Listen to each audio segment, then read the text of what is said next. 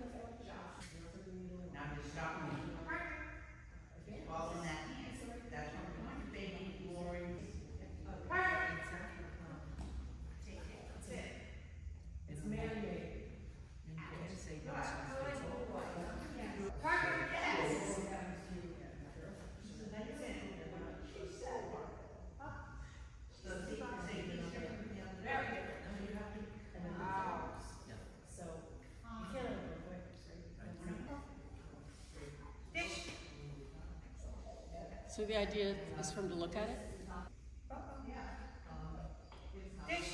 Is that for healing?